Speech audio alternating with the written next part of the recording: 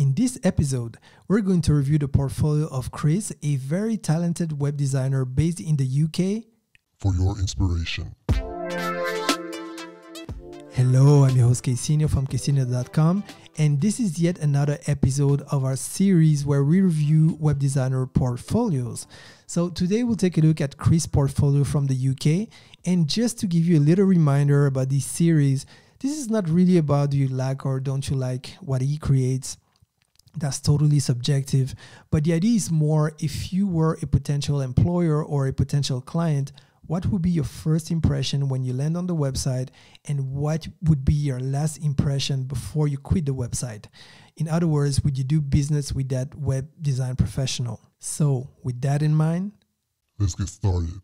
Okay so this week we're going to review the portfolio of chris from the lonely pixel so chris is a creative freelance web designer and developer and he says, I'm Chris, an award winning freelance web designer and developer that has spent the last eight years pushing the boundaries of digital design. And you can click on estimate the project or view capabilities. Now, right out of the bat, this screams creativity. I really love that background. And I dig that kind of effect using the parallax, really simple, but the whole thing, the artwork is beautiful. I don't know if he did it, but even if he did not do it himself, uh, just finding those elements and blending everything together, um, yeah, it's it's really really good. Now, what I like also is that from the first page, you can decide as a client, do you want to estimate the project or view the capabilities? Now, at least you have the choice. I might not have put estimate the project because I might feel that if the first question someone would ask is, uh, how much I cost, then I would feel like maybe I'm a commodity, but maybe that, that's just me.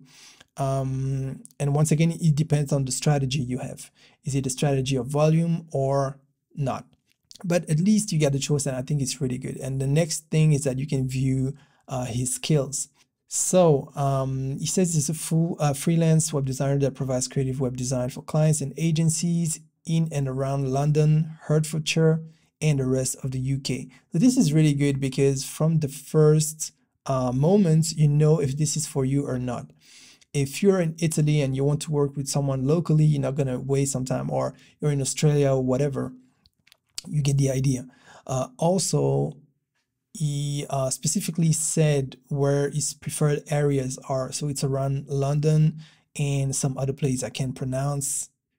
This Hertfordshire.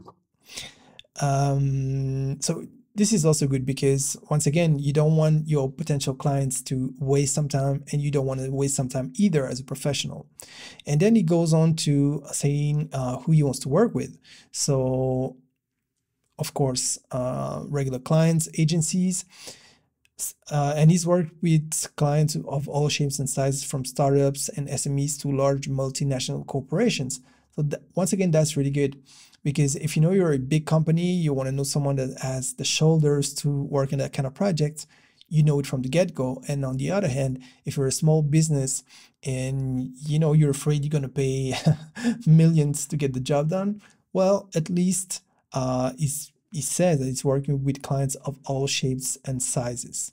Okay, so if you just if you don't read, you scan the page, you see 10 years of experience, you see awards, so that's quite good also uh, you get a, an easy way to phone him so is the phone number and when you click on it it actually triggers a phone so if you're i mean a, a phone call if you're on your phone if you're on the desktop it's going to ask you either to uh, trigger the um, the call on your phone if your phone is linked to your computer or if you're on facetime you might also dial it from there the next good thing is that the email address is with his own domain so it looks professional. I have nothing against the other types of emails that you get for free, but most of the time it doesn't look professional when it's on your website. Then you get uh, access to uh, the last three elements of his portfolio. And then here you see a picture, it's kind of faded. I think it's the only picture we get of Chris on the website. So various element that helps him rank. Uh, and I, th I think that's actually how I found him. So SEO wise, it might be it must be quite good too. The other good thing is that button here where you can also same thing, you can actually click it and it's going to take you straight to your phone or to any service you use to dial in phone numbers. Okay, so let's take a look at uh, some elements on this website. But first of all, I really dig the color scheme. Um, the logo is clean also. Maybe a little bit hard to understand if you don't know it's TLP for the Lonely Pixel. Then you might not know, it may look like it says up, you know, when I read it, it looks like it says up. But of course, because I know it's the Lonely Pixel, I read TLP. So let's take a look at Chris's work. But first of all, let's find out who he is. So that's the about page. He says work to become, not to acquire. Uh, our story starts with a single pixel. I'm Chris, an award-winning web designer that's been providing awesome websites for clients since uh, 2013. So I'm not going to read all of that, but I, am just scanning as a client would. Uh, can for clients, beautiful, help your business grow. So this is key. That's what most people are in for. So he likes to work in a very collaborative and open way. He will always have a say uh, in what's going on. So basically, he's reassuring the potential clients. In my spare time, I'm often found exploring the wilderness with my trusty camera or in the darkroom playing on my Super Nintendo. So basically, that's the human element because you want to connect with your potential clients. They're not just buying a commodity, they also need to connect with you. Otherwise, they could pick one of the million others uh, web designers. So the human elements is good too.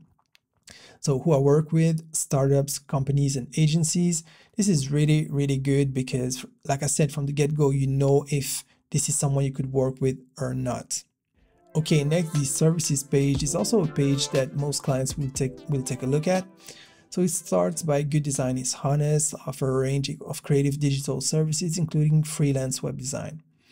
So like I said, capabilities, I would have called that skills, um, but um, it works also with capabilities. So we have web design, web development, e-commerce, website maintenance, HTML, email marketing, and graphic design. So Chris is an hybrid, uh, a bit like I am. So I do web design and web development. I consider myself an hybrid um, a designer, as you call it.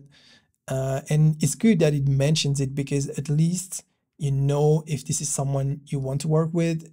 Does he have what it takes for the kind of projects project that you want? So even though he says he plays with his camera, he's not listing photography and videography and all of that here. And this is something key because you want to be known for something. You don't want to be like uh, someone that does everything, the jack of all trades. You want to focus on the things you're good at and that you can sell professionally. Another page uh, clients will want to look at is the contact page. And this one is really clean, really simple. Uh, um, says, let's work together. Don't want to wait. Email me or call me. And once again, those are uh, links. So when you click on email me, it's going to open the mail client with the mail address already inserted and call me is going to open, uh, it's going to dial in the, the number. Then this is the form and it's quite original. Uh, who are you? So you can just click on the uh, item project scope. So web design, web development, and let's say you want an e-commerce website. So, so it's kind of playful and that makes it fresh if you compare it to uh, the regular web design agencies where it's really serious and they say they're creative, but they're not really creative uh, outside of words. And here he's creative with actually with his work. So um, this interaction is quite nice. Then you have the form, really simple, and you can send it. Okay, so next let's take a look at the work. Uh, you can actually load more here, so you have more elements, but we're just gonna take a look at the the last three, which are the best ones in my opinion. Well, when I say last three, the first three actually, but I suppose they're the last ones. So the first one is Pizza SQR. So right out of the bat, I like how he presents it. So you have a big hero section, the name, so it makes it really clear. Then you have the brief and the approach. And that's good also because sometimes you're going to show something in your portfolio and sometimes it looks beautiful, sometimes it doesn't look that beautiful. But if you don't know what was behind the scene, what was the brief, what was actually asked, and what what you actually did on that website, then it's it can be kind of misleading. So here we have the brief. I'm not going to read all of it. Uh, what he did is um, the I suppose he, he installed the CMS. Uh, he did the web design and web development.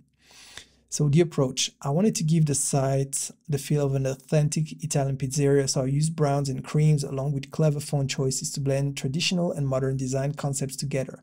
Big mouth-watering imagery appears throughout the site, and a slight parallax effect is used to give a sense of movement.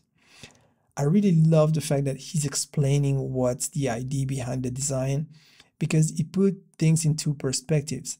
And then he uh, went on to put some screenshots because, as you may know, when you deliver a website, it's going to be beautiful, but when you hand it over, you never know what happens. Sometimes it stays beautiful, sometimes not.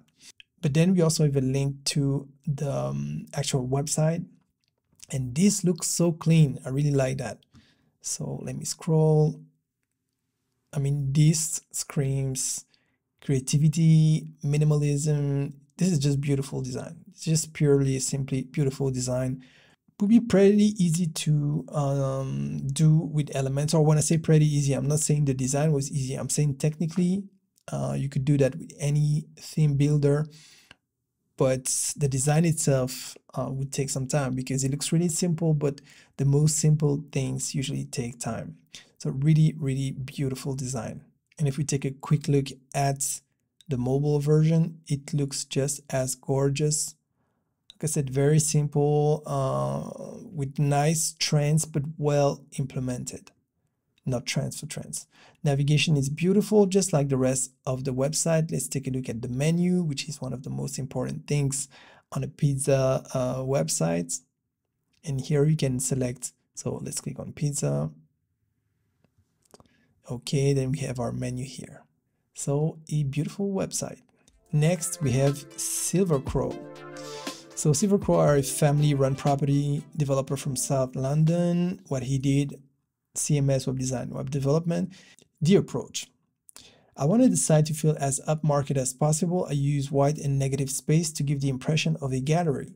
With elegant typography and the client's amazing photography, we created a layout that really nailed the brief. The entire site is animated using Animation Library, which gave me more control over the finer interactions on the site. This really finished off the project nicely and made the whole thing feel complete. Once again, we have the screenshots here and it just looks really, really beautiful. Really um, high-end website. So let's take a look at the actual website.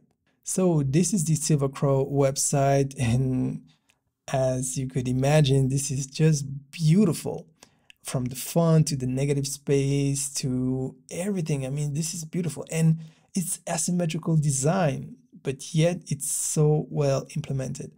And why am I saying that? Is because I also do this series where I review uh, the websites of the week. And most of the time, I always ramble about asymmetrical design, which I'm not a fan of, but sometimes it's well, well implemented. And I really, really dig that design. I think it's really beautiful. So let's click on projects okay we get that little um, page transition. And once again the design language is just consistent beautiful. Okay this is one of the project with the animations he talked about in the description of the project. Also love the um, the arrows here line icons. That was a bit misleading here because I thought I could click on the contact us and on other projects but actually it's just uh, referencing the um, section that are on the right hand side. But still, design wise, I really, I really dig that. Now let's take a look at the mobile version. Nice um, navigation. I wish it was all the same color, all in white, for example, but that's just personal taste. Here we have a, a white background on top and then we have the light gray background like the Lottie animation on the navigation. And for the rest, I think the thumbnails are a bit small here. Um, I know it's um, fueled by asymmetrical design, but I would have made the thumbnails bigger on the mobile version. But for the rest, very clean, and I still dig that. So let me open one of the projects. Nice animation and still beautiful. And last but not least, we have the Vaxtution uh, website. So the approach after a productive initial meeting, I got to work with the initial concepts. Uh, the site makes use of bold color. This was one of the most fun projects, and so on. Like I said, it's just like one of the clients that would browse the website.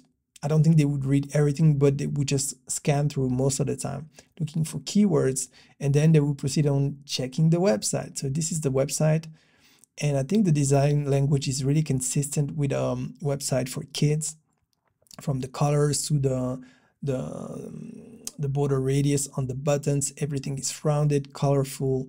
It's bold. I think it works really well. You know, the, the thing is, even though I love minimal design and high-end website, you cannot do that type of design for each and every website. Here, it works really well. It looks like a high-end website, but that matches the, um, the industry that they're trying to target. So here is online tutoring and uh, for children age 4, 4 to 16 years old, although 16 years old will be more like a teenager, but you get the idea. I think it works really fine. I, got, I like the blobs here, the colors, the font. Um, most of his website, the font is beautiful, so font works well. I mean, the, the font pairs also, the selection of the font itself. Even when you're using Google font, don't just take the first Google font that you find. Trying to look for really uh, nice ones, fonts that actually work together. And now let's take a look at the mobile version. So it says private tuition centers based in Hertfordshire, London, and Essex. So beautiful navigation, but, but as you can see, the first element in the nav is hidden by the logo. So that's quite easy to fix, but probably something they forgot. And bear in mind, I'm watching this on a simulation uh, of an iPhone 5. So let me go back to an iPhone 6, a bit bigger. So it's better. And then on an iPhone 6 Plus, then we have no issue. So it's always good to always check for other sizes, but uh, I'm also guilty of that many times. So so many things to think about when you release a website, but simple, colorful, playful, works really well for the industry and the subject. Question of the day What was your favorite part about Chris's work? Let me know in the comments. In my case, it was the second website I reviewed. I really love the minimal design and the typography. And basically, I like his own website because it's really clear. But let me know what you think. So I hope that this video inspired you and that it's going to help you to craft the perfect portfolio website for your business or for your career. Now, if you enjoyed this video, please like it as it really, really helps growing the channel. And if you want more inspiration videos where I show portfolios of other web designers and much, much more, make sure you subscribe and smash the notification bell so that you don't miss anything. Oh, and by the way, if you want a killer brand identity, I created the brand identity guidelines template that you can download on my website for free. Initially, it was created for Affinity Designer, but you can use it with Adobe Illustrator with a workaround. So if you're interested, just go to kaycinho.com forward slash branding. So that's it for this episode. Make sure you don't miss the next one. And in the meantime, don't forget to invest in your success.